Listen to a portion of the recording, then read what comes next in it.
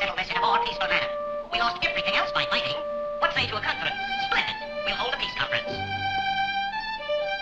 And so, gentlemen, it is agreed that the cake shall be divided evenly. We will divide it this way. This half for us,